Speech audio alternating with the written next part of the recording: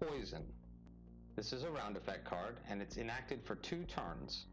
So what you're going to do is you're going to place face up in round effect, kill one community card anywhere on the board this turn, then during your next turn, kill one more card that matches the community of the previously killed card. So basically we're going to place it on the board and kill a card immediately. And we're going to want to kill this 11 because he has an 8 as well to kill next turn.